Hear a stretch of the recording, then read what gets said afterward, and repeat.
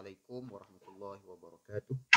إلى حضرة النبي محمد صلى الله عليه وآله وسلم ثم إلى أرواح أزواجه وذرياته وأصحابه والتابعين والتابعين لهم بإحسان إلى يوم الدين ثم إلى أرواح كافة الأنبياء والمرسلين وأولياء الله الصالحين والعلماء العاملين. وساداتنا الصوفية المحققين وسائر مشايخنا ومعلمينا ولآبائنا ولأمهاتنا ولإخواننا من المسلمين والمسلمات والمؤمنين والمؤمنات الأحياء منهم والأموات لهم الفاتحة. أعوذ بالله من الشيطان الرجيم. بسم الله الرحمن الرحيم. الحمد لله رب العالمين.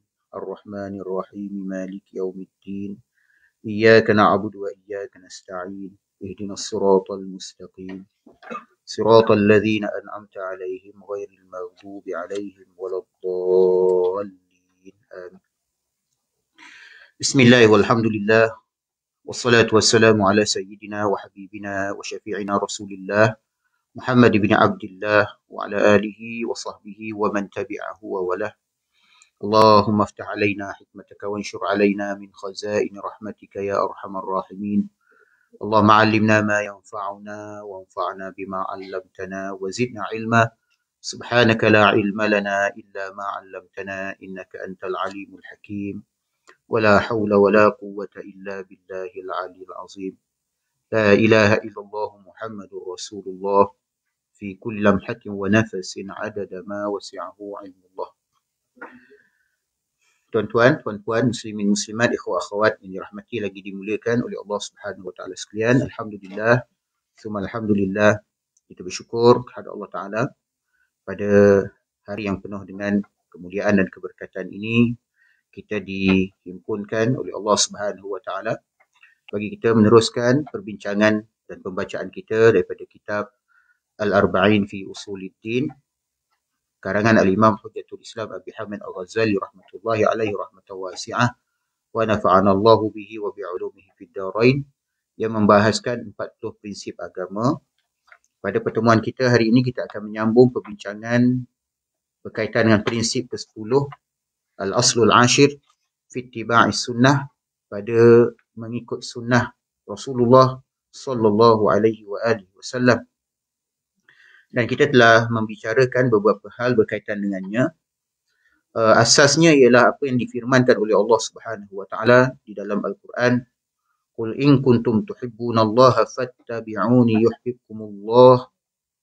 Katakanlah jika kamu benar-benar mencintai Allah, ikutilah aku, nescaya Allah akan mencintai kamu.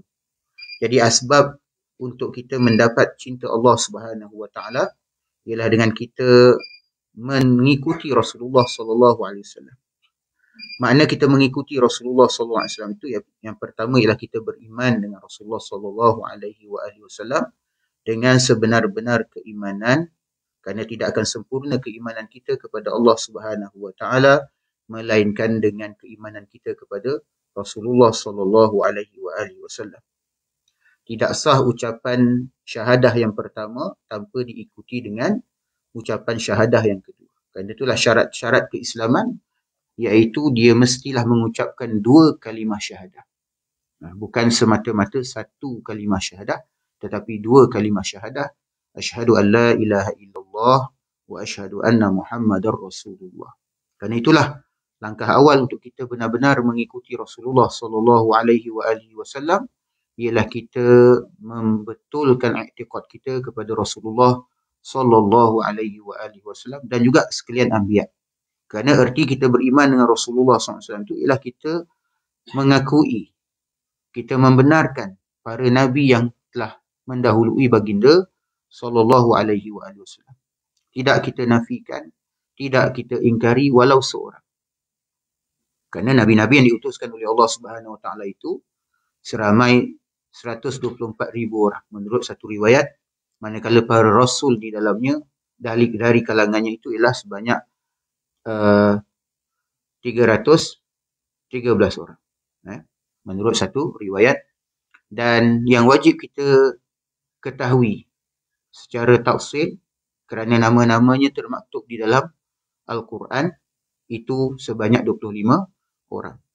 Artinya kita mestilah mengakui semua orang Nabi itu. Yang kita tahu ataupun yang kita tidak tahu.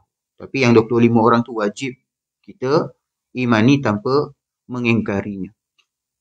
Kerana ada uh, antara umat terdahulu yang percaya kepada sekian Nabi tapi menolak sekian Nabi.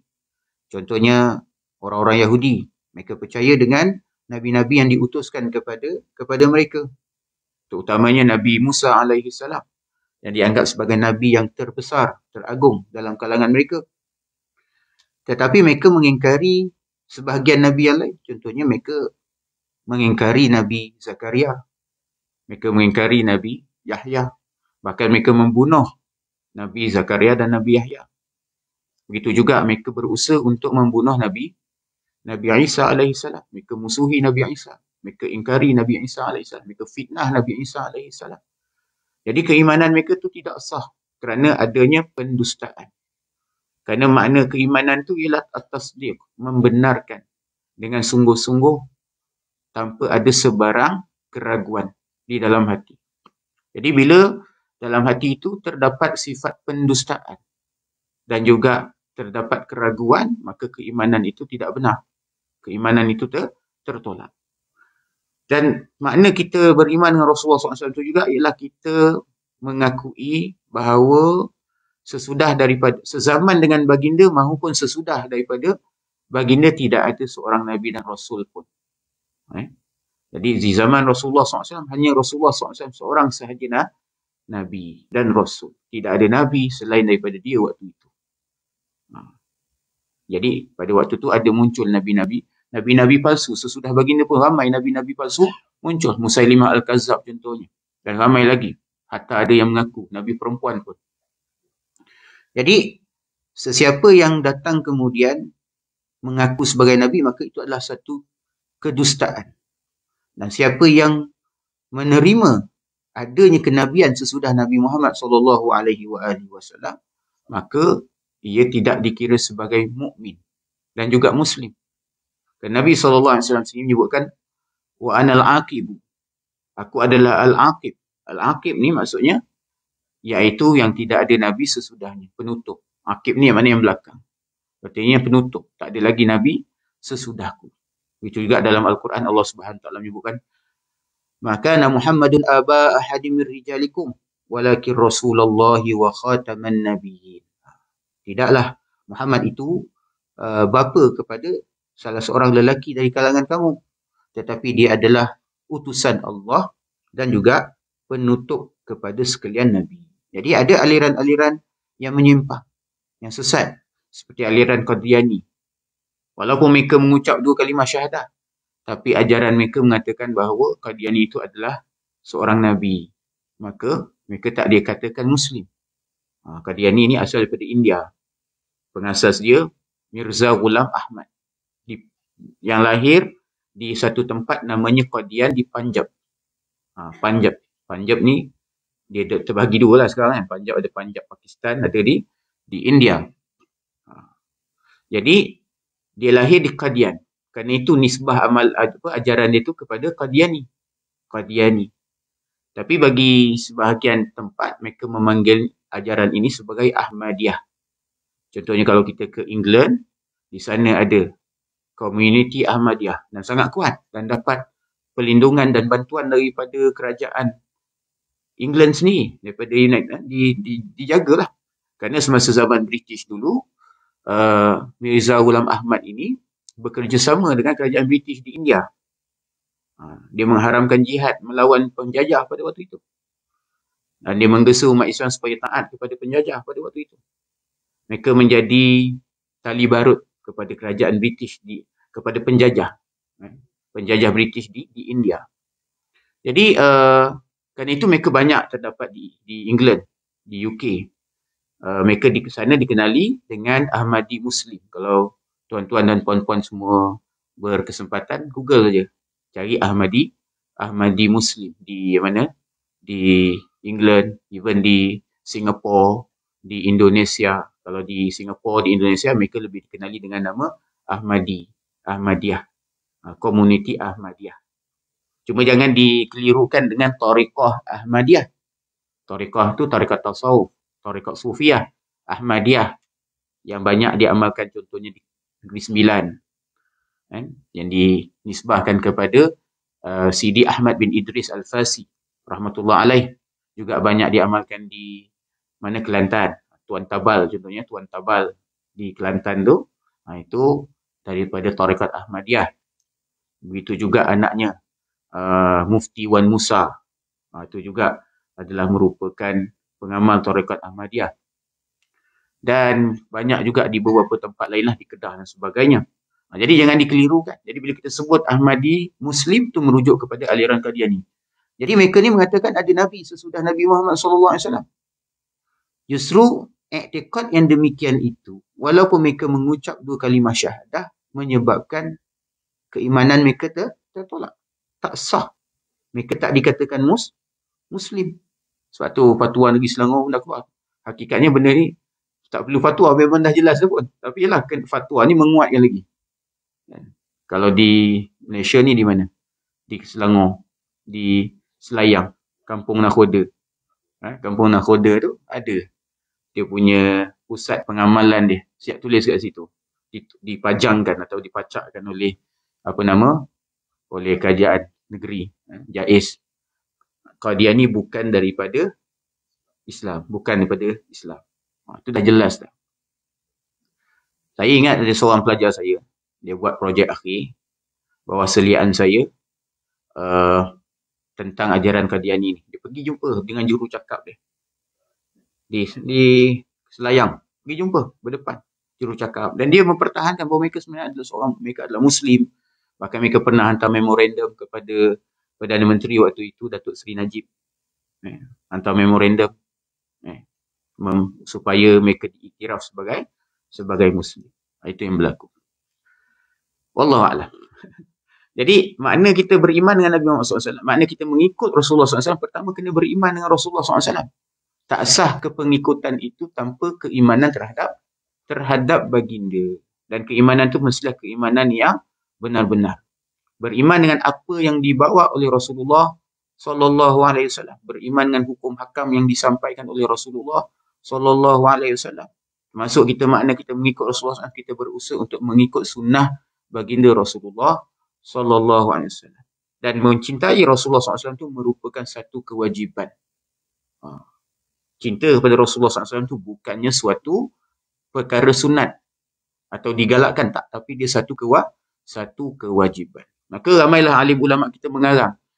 Kitab-kitab yang membicarakan tentang baginda Rasulullah SAW sama ada dari sudut sifat-sifat akhlaknya tingkah laku baginda sifat-sifat fizikal baginda. Contohnya al-imam Abu Isa At-Tirmizi dengan kitab yang terkenal Syama'il Al-Muhammadiyah.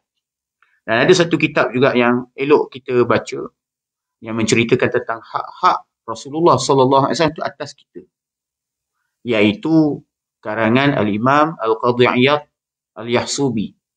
Seorang ulama uh, berasal daripada Morocco atau Maghribi. Uh, saya tak ingat kurun ke berapa tapi memang terkenal lah dia sebut Al-Qadhi Iyad judul kitab dia ialah Asy-Syifa bi Ta'rifi Huquqil Mustafa. Asy-Syifa maksudnya penyembuh. Bita'rifi hukukil Mustafa bagi memperkenalkan hak-hak Al-Mustafa. Al-Mustafa ni nama salah satu nama baginda Rasulullah sallallahu alaihi wasallam. Maknanya kitab ni memperkenalkan memberitahu kita tentang hak-hak baginda Rasulullah SAW atas kita. Nama Nabi Muhammad ni banyak. Muhammad, Ahmad, Taha, Yasin, Nasir, Mansur, uh, Mustafa, Mukhtar, eh, Al-Aqib dan banyak lagi. Kalau kita pergi ke Madinah, kalau kita berkesempatan kita ke Madinah, kita masuk ke Masjidun Nabawi, masuk ikut pintu satu, pintu yang depan sekali, eh, yang melintas depan apa nama? Depan depan Raudhah tu. Dipanggil pintu Babus, eh, dipanggil Babus Salam, pintu Assalam. Kalau kita masuk, kita tengok belah arah kiblat. Maksud tengok belah kanan kita. Dan kita masuk, masuk kita tengok belah kanan kita, di dinding itu tertera nama-nama Rasulullah sallallahu alaihi wasallam. Itu bagi orang lelaki lah. Saya ingat kalau kaum wanita dia tak ikut jalan tu, dia ikut pintu lain. ha, untuk ke raudah. Tapi kalau orang lelaki, ambil kesempatan. Perhatikan perkara-perkara yang tertulis pada dinding-dinding masjid Nabawi. Sebab kita kalau pergi tu bukannya tiap-tiap hari kita tak sana kan. Kita kesempatan pergi tu kita tengok yang ada tiang-tiang tertentu tu ada dia punya peristiwa-peristiwa tertentu yang berlaku di di situ. Ha, jadi antara lain kat dinding tu ada ditulis nama-nama Rasulullah sallallahu alaihi wa alihi wasallam. Baik. Jadi itulah beberapa asas yang telah kita bahaskan sebelum ini. Jadi uh, di halaman 83 di bawah tu sebutkan di sini ketahuilah bahawa penyingkapan rahsia dalam setiap sunnah itu amatlah panjang dan penjelasannya tidak dapat dimuatkan di dalam buku ini.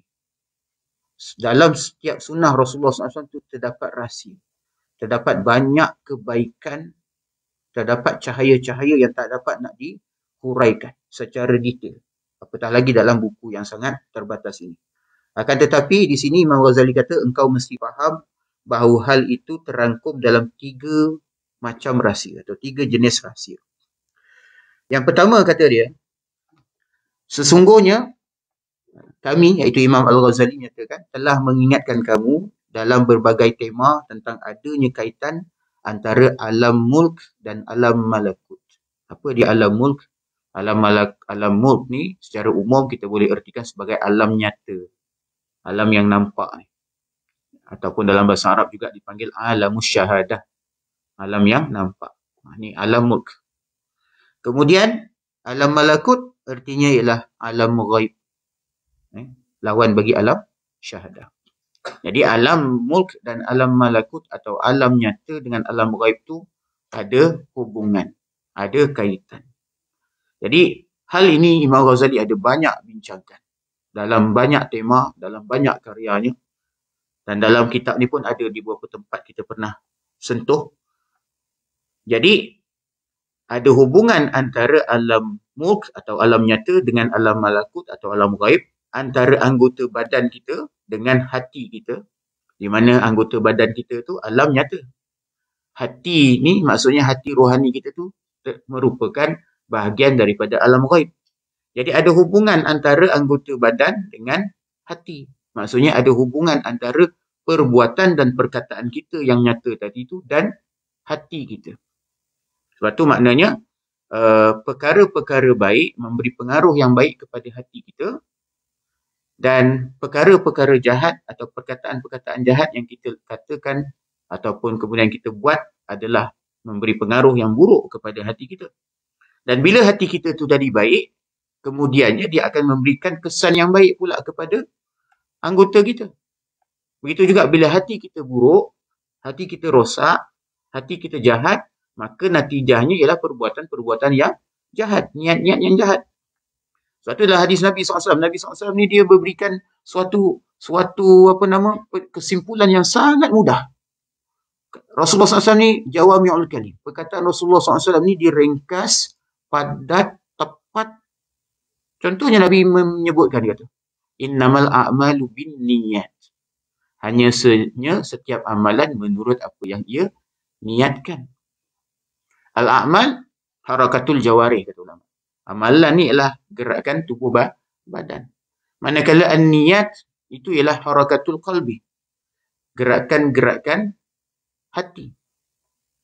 Jadi amalan yang amalan tu adalah natijah daripada niat kita. Jadi niat yang baik itu menjadikan suatu amalan tu baik.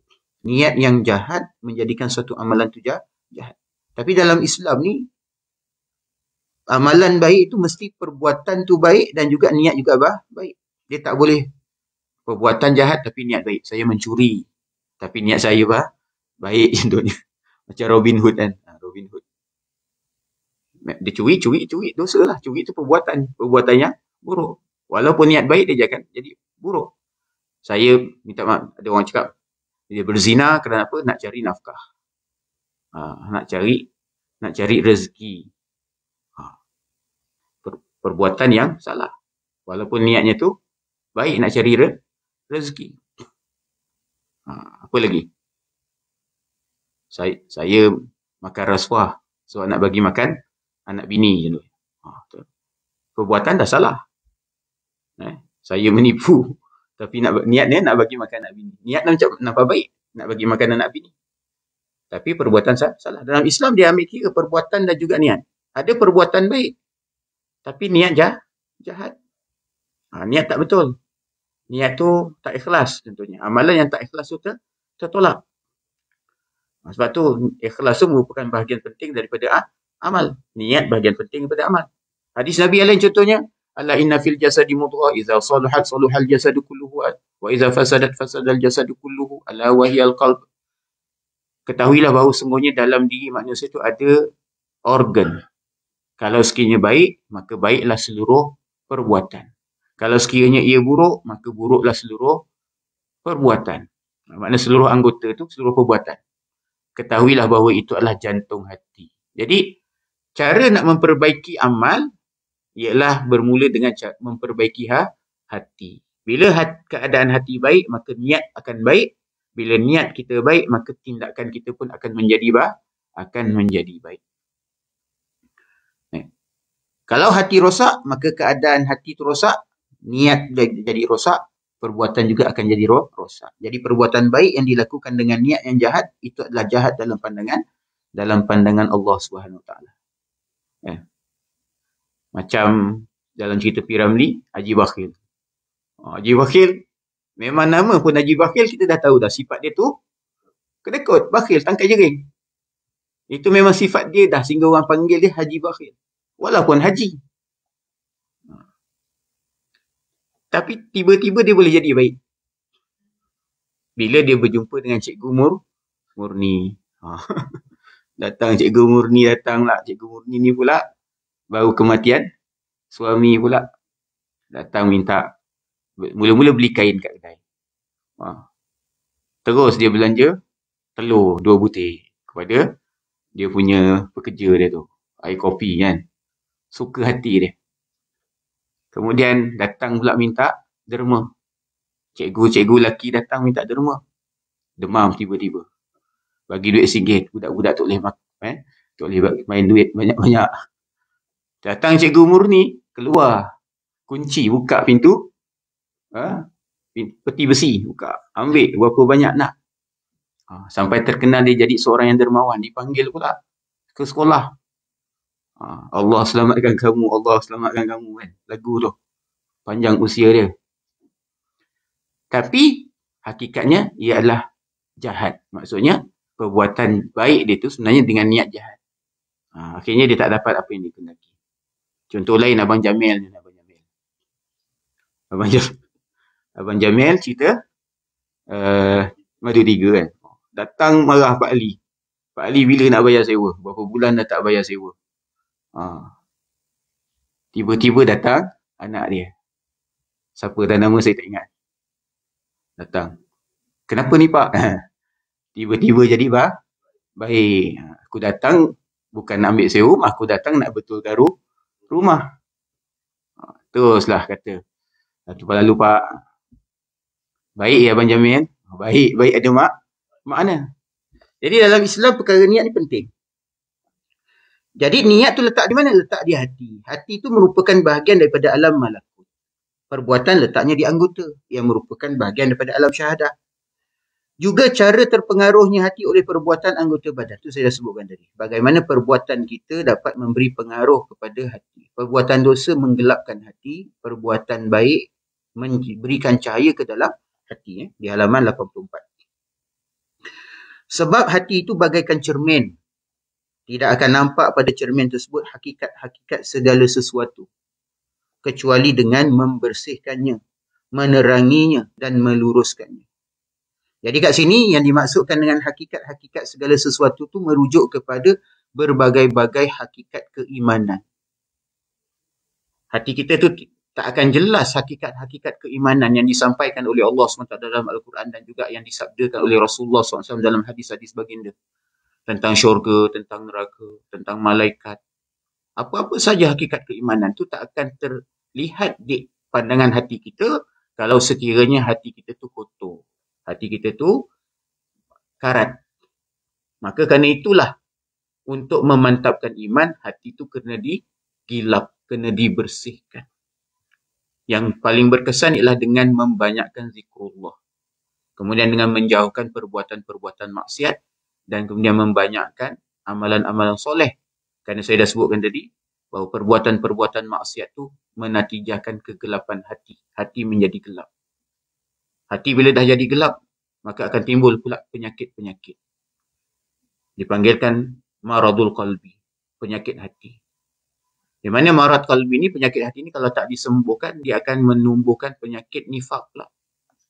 Nifak ni dia akan menyebabkan seorang tu memusuhi kebe, kebenaran. Dia membenci kebenaran. Dan lama kelamaan dia akan mendustakan. Bila dia mendustakan, akhirnya dia menjadi kufur. Sebab tu kufur ni maksudnya penutup. Asal kalimat kufur tu ialah penutup. Jadi hati yang telah tertutup tidak tidak lagi menerima cahaya Allah Subhanahu Taala tu dipanggilkan hati yang kufur. Sebab tu dipanggil orang kafir. Kafir ni mana orang yang hatinya telah tertutup daripada cahaya Allah Subhanahu Taala. Dan kenapa dalam bahasa dalam bahasa Inggeris apa penutup tu dipanggil cover cover. Jadi kalimat cover dalam bahasa Inggeris tu asal muasalnya daripada kalimat kufrun dalam bahasa Arab. Sebab tu petani juga dalam bahasa Arab dipanggil kufar. Kufar ni orang yang menutupkan biji benih dengan tanah. Panggil dipanggil kufar. Ha, yang eh? Ya, kufar tu orang yang menutupkan biji benih dengan tanah. Jadi hati yang telah tertutup dia kufur. Sebab tu ada dalam satu ungkapan dia kata azambu baridul kufri dosa-dosa itu pengantar bagi kekufuran. Jadi bila dosa itu dilakukan, sekali dia akan tertitik dengan satu titik hitam di cermin hati kita. Maka kita bersihkan dengan taubat. Taubat. Dan kemudian kita buat lagi. Kita bersihkan lagi dengan taubat. Kembali elok. Tapi kemudian kalau kita biarkan israr ala alal ma'asi. Mana kita berterusan dengan maksiat dan kita menangguh-nangguhkan taubat. Kita mula lengah. Sebab dosa ni menyebabkan hati hati tu gelap dan akhirnya tubuh badan tu jadi berat untuk melakukan satu kebaikan. Dan lama kelamaan nak maksiat tu akan rasa lazat pada hati. Kerana maksiat tu disukai oleh hawa nafsu. Jadi nak maksiat tu rasa seronok. Kejahat kebaikan tu jadi berat. Jadi jadi jadi pahit pada hati yang telah dikuasai oleh nafsu syahwat tadi tu. Sebab tu bila berdosa segerakan bertaubat segerakan bertobat. Banyakkan pula amal soleh kerana amal soleh tadi menjadi cahaya yang dapat mencahayai hati yang tadi telah digelapkan oleh dosa-dosa dan kelalaian. Tapi bila dah makin banyak kita buat dosa tu, akhirnya hati tu akan berkarat. Kalla bal rana ala kulubihim. Ha, al-ran, rana ala kulubihim maksudnya karat-karat, selaput-selaput, penutup-penutup yang terdapat pada hati. Imam Ibn Qayyim dia kata, bila hati tu dah berkarat, maka dia tidak akan dapat melihat kebenaran sebagaimana yang sepatutnya. Nanti dia akan nampak yang benar tu salah, yang salah tu benar. Orang baik dikatakan jahat, orang jahat pula dikatakan baik. Itu punca apa? Hati tu dah terbalik. Sebab tu hati tu mukallib. Hati tu mukallab maksudnya ber, berputar-putar, berubah-ubah. Dan kita minta kepada Allah SWT, Ya muqallibal qulub, sabbit qalbi ala dinik. Wahai Tuhan yang membolak-balikkan hati tetapkanlah hati kami ni atas agamamu. Tetapkan hati kami ni atas jalan yang lurus. Dan setiap kali kita solat, Allahu Akbar, kita baca doa iftitah. Kita doa, kita sebut apa dalam doa tu? Wajah tu wajhiya lillazi fataras samawati wa Aku hadapkan diriku kepada pencipta langit dan bumi. Maksudnya, itu suatu usaha kita nak palingkan hati kita yang sebelum solat ni sibuk dengan berbagai-bagai hal duniawi. Bila dalam solat, maka hati tu kita usah palingkan dia kepada Allah Subhanahu wa taala. Sebab tu kiblat hati tu adalah Allah Subhanahu wa taala. Allah tak berarah. Fa inna ma tuwallu fasama wajhullah. Ke mana pun kamu berhadap, kamu berhadap ke arah kepada Allah Subhanahu wa taala. Allah tak berarah. Tapi itu nak kata hati itu ketika saya hadapkan kepada Allah Subhanahu wa taala. Tubuh dihadapkan ke ke kiblat. Dan Imam Ghazali disebutkan bagaimana menghadap ke kiblat tadi tu perbuatan zahir yang ada kesannya pada batin. Jadi kalau baca doa ha, kita buat apa kebaikan sebaiknya menghadap ke ke kiblat. Ha, kita berdoa sebaiknya menghadap ke kiblat. Ha, walaupun ada ulama kata kiblat doa tu langit. Maknanya ke mana pun kita berhadap kita berdoa tak masalah kerana kiblat doa tu lah langit. Kalau kita berzikir sebaiknya menghadap ke kiblat. digalakkan bukan wajib tapi digalakkan menghadap ke ke kiblat. Jadi hati tadi itu umpama cermin. Jadi cermin ni tujuan dia ialah untuk menangkap berbagai-bagai gambaran dan cermin hati pula gambaran yang nak ditangkap adalah gambaran-gambaran keimanan. Dan gambaran-gambaran berbagai hakikat keimanan tu tak akan terlihat oleh hati tadi kalau hati itu dalam keadaan ada tabir. Tabir ni maknanya ada hijab. Ataupun hati itu berkarat. Hati itu kotor. Atau hati itu terbalik. Sebab tu Imam Ghazali mengatakan perlu diluruskan hati itu. Angkatkan hijab hati-hati itu. Bersihkan cermin hati itu. Supaya gambaran-gambaran berbagai hakaikul iman, hakikat-hakikat keimanan itu akan nampak terang dalam hati. Kan dalam hadis Nabi SAW diceritakan. Ada seorang sahabat Nabi SAW. Namanya Hanzalah. Sayyidina Hanzalah Al-Usaidi. Satu hari Sayyidina Abu Bakar As-Siddiq radhiyallahu anhu datang. Kaifa haluka ya Hanzalah? Apa khabar Hanzalah? Guana uh, guana gamuk dia kan kata ya. Apa khabar kamu wahai Hanzalah? Nafaqah Hanzalah kata Hanzalah. Hanzalah jawab dia kata, Hanzalah telah terkena sifat nifaq. Oh, berat ni. Berat nanang eh. Ha. Hanzalah dah terkena kemunafikan. Ha, nifak. Lalu, Sayyidina Abu Bakar tanya, Subhanallah, ma taqul. Maha suci Allah, apa yang kau cakap ni? Lepas dia kata, kita ni duduk bersama-sama dengan Rasulullah. Dalam majlis Rasulullah.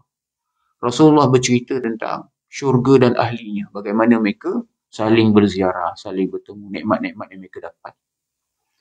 Rasulullah bercerita tentang neraka dan ahlinya. Bagaimana keadaan ahli neraka. Yang diazab, yang saling mencaci maki, yang saling menyalahkan.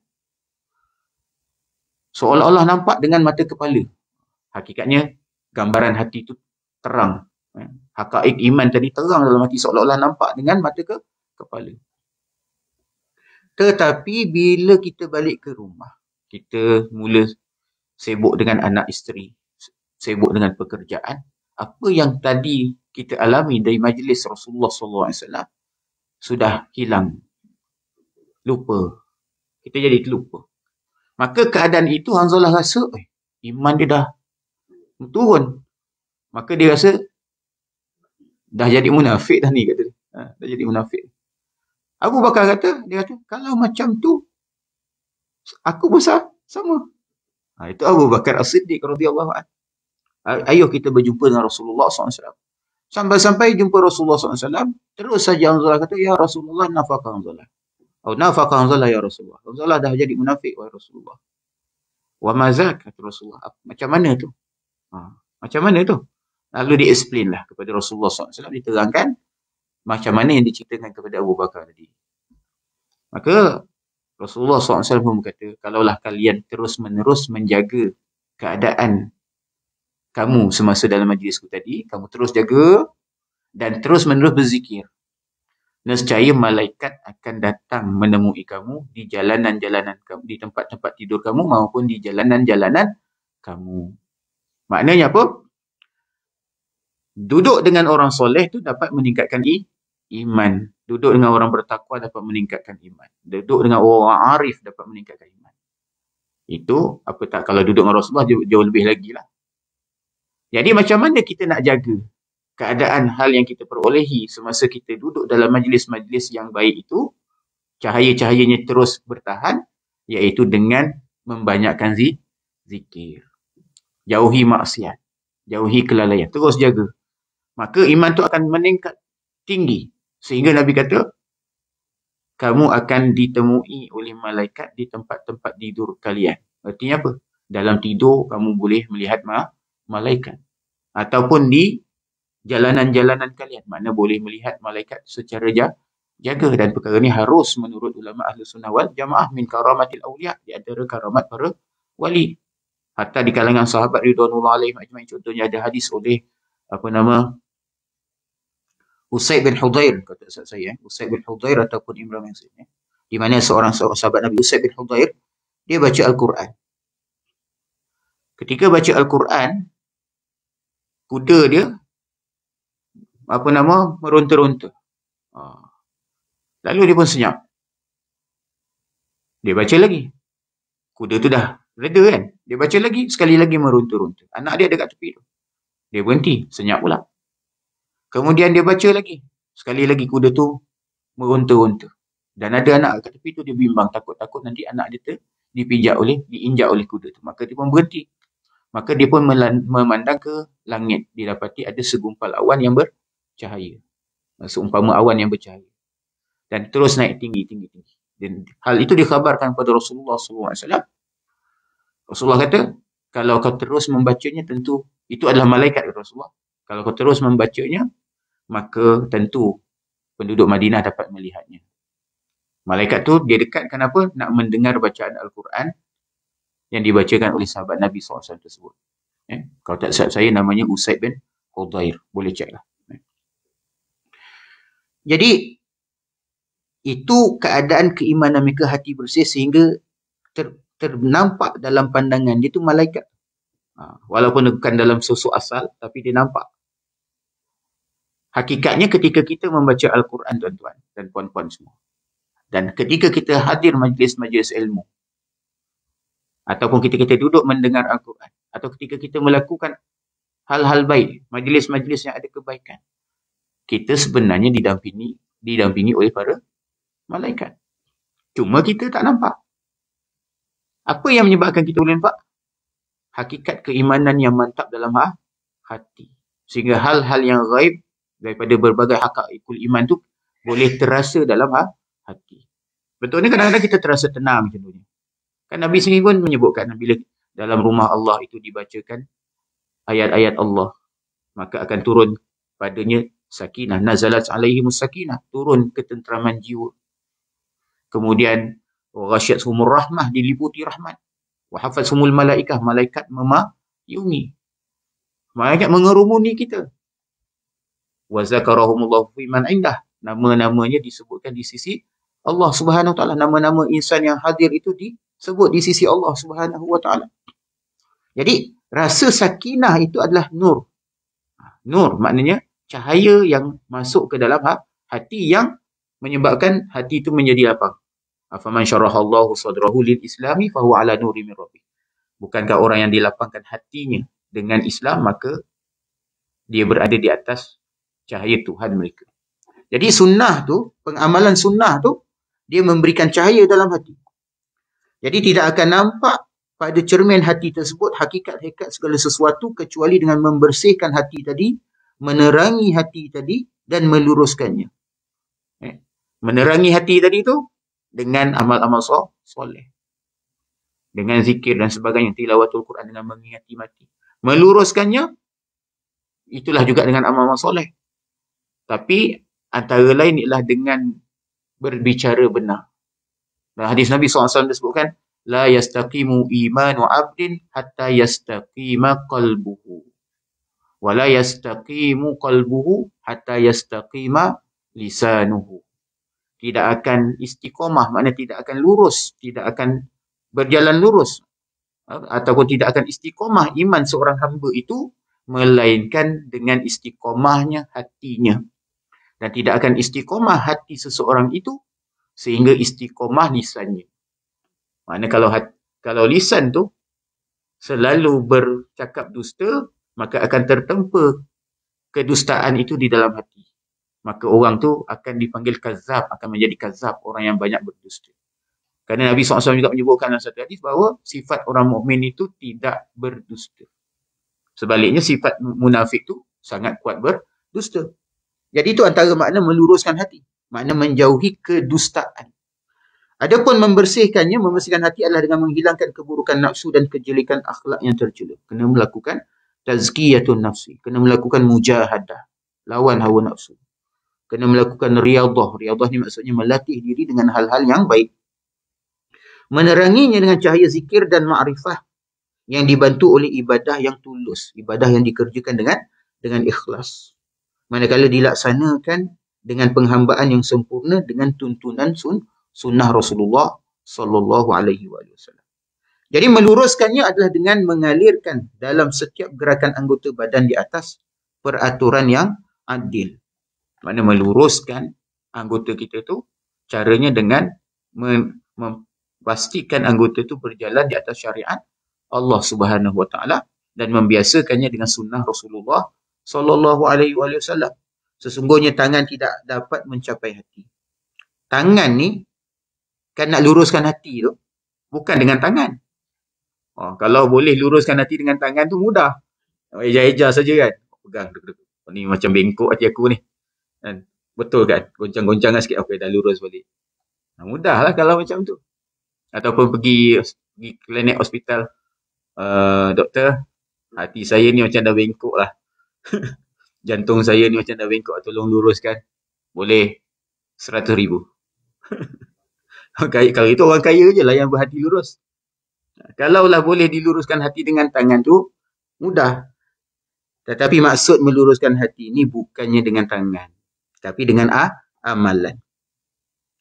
Jadi tangan ni tak dapat mencapai hati kecuali engkau bertujuan meluruskannya dan engkau perbaharui cara yang lurus lagi benar dan tidak ada penyimpangannya.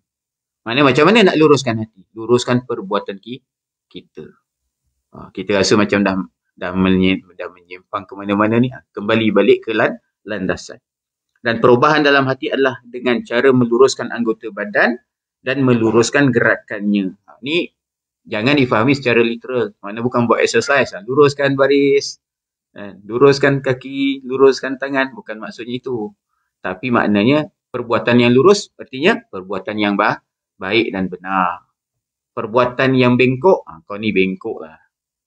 Ha, maksudnya perbuatan tu dah perbuatan yang tak baik dan tidak benar. Oleh kerana itu, dunia menjadi mazra'atul akhirah. Dunia ni menjadi kebun bagi akhirat.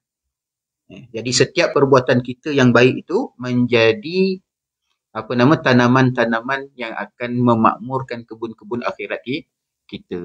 Kita harap bila masuk ke bila sampai ke akhirat nanti kita tidak bertemu dengan taman-taman yang tak berbunga.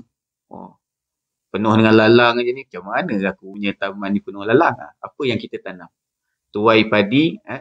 kalau tanam padi tumbuhnya padi kalau kita tanam lalang maka lalang lah yang tumbuh macam itulah kalau kita tanam kebaikan di dunia maka di akhirat kebaikanlah yang akan kita tuai tapi kalau kita tanam keburukan di dunia kita bimbang nanti ke akhirat keburukan itulah yang akan kita kita tuai oleh kerana itu dunia menjadi kebun akhirat. Dan kerana itu rugilah orang yang meninggal sebelum adanya pengampunan kerana terhambatnya jalan menuju pengampunan disebabkan oleh kematian.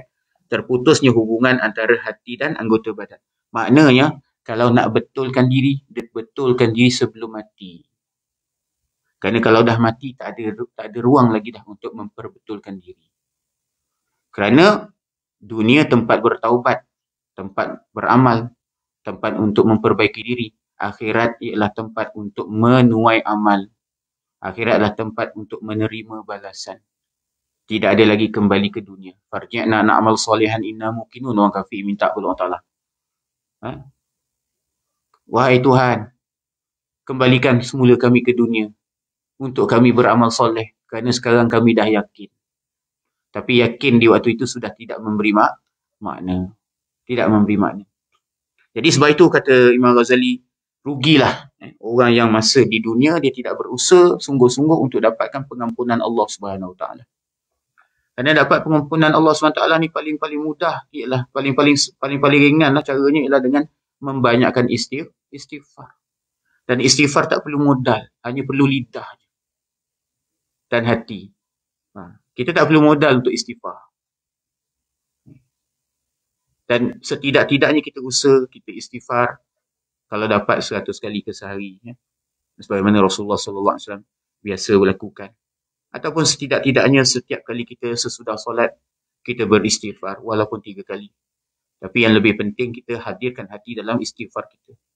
Kalau tak dapat pun, paling-paling kita amalkan Sayyidul Istighfar. Allahumma anta rabbi la ilaha illa anta khalaqtani wa ana abduka wa ana ala ahdika wa wa'dika mastata'tu. A'udzubika min syarri ma sana'tu abu laka bi ni'matika alayya wa abu bi zambi. Faghfirli fa innahu fa innahu la yaghfiru dzunuba illa anta. Itu sekurang-kurangnya lah. Jadi dalam satu hari kita kena ada ruang untuk kita kembali kepada Allah Subhanahu Wa Taala. Paling-paling pun makna sebelum tidur. Kerana tidur tu ibarat macam kita nak melangkah ke alam alam kematian. Kerana an-naumu akhul maut. An-naumu akhul maut. Tidur itu adalah adik-beradik kematian. Sebab tu bila kita tidur, kita baca doa nak mati. Bismillahirrahmanirrahim ahya wa amut. Dengan nama Allah, dengan namamu ya Allah, aku hidup dan mati. Kerana kita tak pasti esok hari kita bangkit semula atau tidak. Ha. Banyak yang saya dengar, kita dengar-dengar eh. Orang ni meninggal dalam tidur. Bangun-bangun pagi anak tu rasa eh dah sejuk. Tak bangkit dah. Lepas tu ceritalah, oh semalam elok je. Esok siap belanja makan lagi. Oh, siap itu lagi ni, siap. Elok pula pula buat kelakar. Tak sangka dah pergi. Tak, memang tak ada isyarat-isyarat, tak ada tanda-tanda. Tak nampak. Jadi, setidak-tidaknya sebelum tidur tu, kita beristif, beristighfar. Dan kalau boleh kita cubalah makna sebelum tidur tu, lidah kita tu gerak-gerakkan dengan zikrullah. Gerak-gerakkan dengan zikrullah. Ha, astaghfirullah, astaghfirullah, astaghfirullah. Sampai tertidur. Ataupun selawat. Allahumma salli wa sallim wa barik ala Sayyidina Muhammad wa ala alihi Sampai tertidur. Ataupun, apa nama, zikir la ilaha illallah. La ilaha illallah. La ilaha illallah. La ilaha illallah. Sampai tertidur.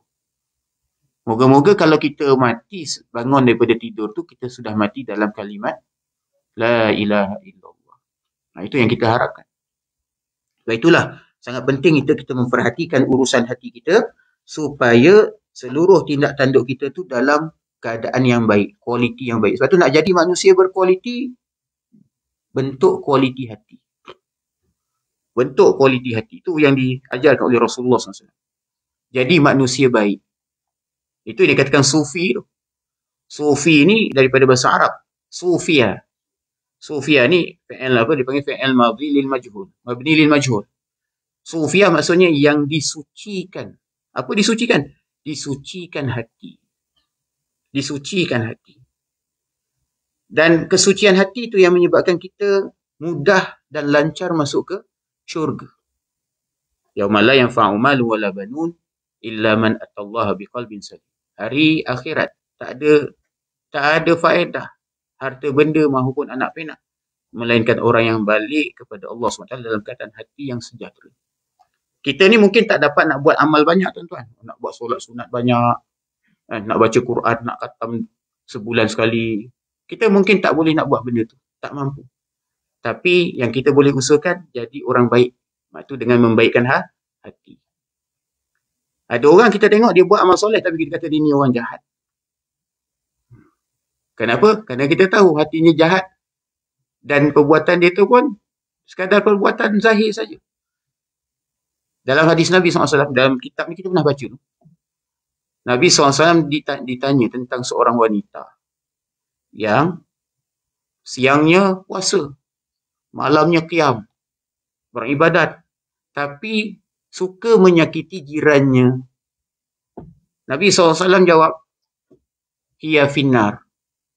Dia duduk dalam neraka. Jadi, menjadi baik itu bukan hanya dilihat pada luaran amalan yang baik. Tetapi, membentuk hati yang baik. Sehingga orang baik ni kalau dia diam pun kita kata dia baik. Kita Orang baik ni kalau kita duduk dia dia kita selesa. Tapi kalau orang jahat, dia buat baik pun kita takut. dia baik ni, dia baik ada makna ni. Tiba-tiba belanja kan. Ini orang jahat, dia bagi air. Eh, ada racun kot. Sebab apa? Sebab kejahatan dia tu menyebabkan akhirnya kebaikan dia tu ditakuti lah. Ha. Tiba-tiba buat baik ni orang jadi jadi buat sangka. Kalau dia memang nak jadi baik, Alhamdulillah. Tak apa, syukurlah.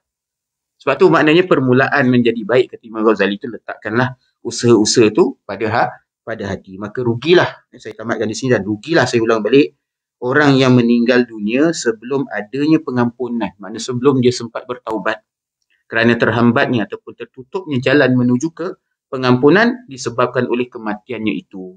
Maka terputuslah hubungan antara hati dan anggota badan. Kerana yang bangkit nanti di akhirat tu apa yang yang akan dicabut tu roh, roh bawa beserta amal kita. Kalau baik, dia bawa beserta amal baik, wangilah roh tu.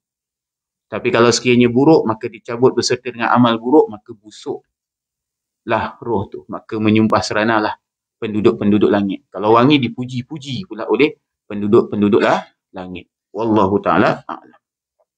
Sekadar itu saja insyaAllah. A'udzubillahi minasyaitonirrajim. Bismillahirrahmanirrahim. Alhamdulillahirabbil alamin. والصلاة والسلام على أشرف الأنبياء والمرسلين سيدنا ومولانا محمد وعلى آله وصحبه أجمعين اللهم حبب إلينا الإيمان وزينه في قلوبنا وكره إلينا الكفر والفسوق والعصيان واجعلنا من الراشدين اللهم آت نفوسنا تقواها وزكها أنت خير من زكاها أنت وليها مولاها سبحانك اللهم وبحمدك أشهد أن لا إله إلا أنت أستغفرك وأتوب إليك والعصر إن الإنسان لفي خسر إلا الذين آمنوا وعملوا الصالحات وتواصوا بالحق وتواصوا بالصبر. وبالله التوفيق والهداية. والسلام عليكم ورحمة الله وبركاته.